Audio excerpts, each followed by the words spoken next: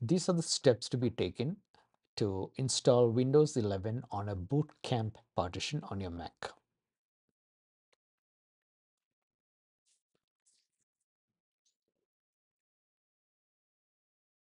Make sure you download the ISO file. You can run the program using the command line.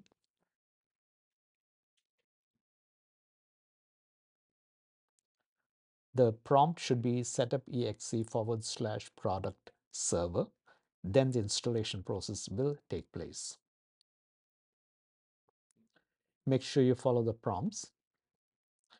The system will restart a number of times. So here is where you get the Windows download ISO. Make sure you download it and mount it as required. The download link is valid for about 24 hours.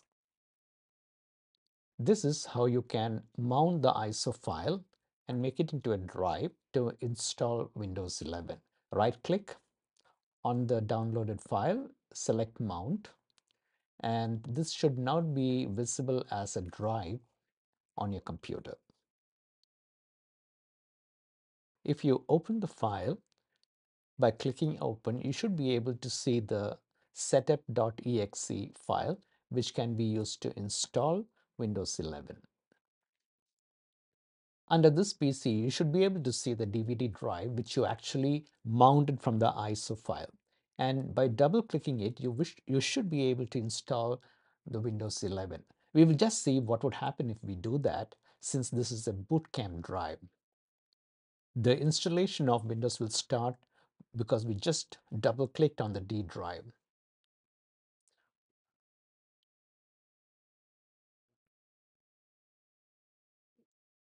Just follow the prompts.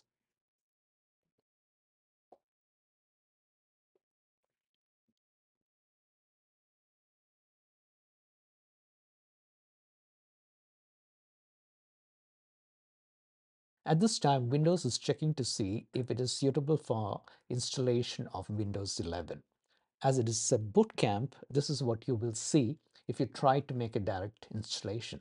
This PC doesn't currently meet Windows 11 system requirements. The PC must support TPM 2.0, which is not happening. So this is the problem trying to install Windows 11 directly into a bootcamp. So we have to use an alternate way, and that's what we're going to see very soon. We will use command prompt to install Windows and for that go to the search bar, type in CMD and right click the command prompt and run as administrator. Once the command prompt starts, type in D colon. Now this will take you to the D drive. Next you type in setup.exe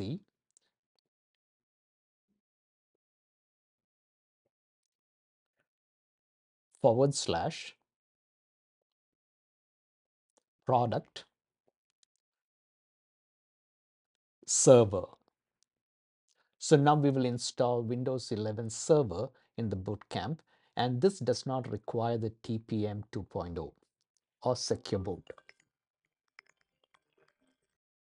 Now the Windows 11 Server installation will start just like before, but this time the process will continue.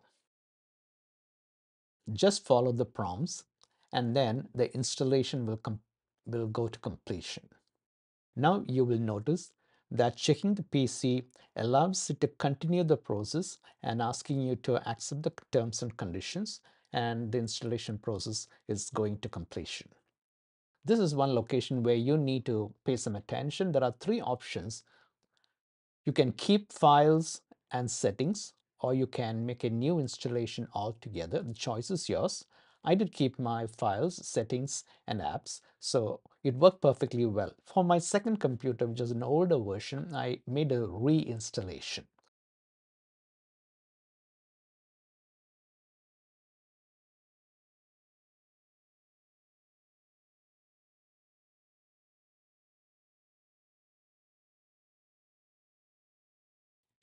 The screen will go blank as seen here and Don't forget to hold the Option key to reboot back into Windows when it restarts. And finally, we have Windows 11 installed on Boot Camp, but it is the Windows 11 server. That's it for now.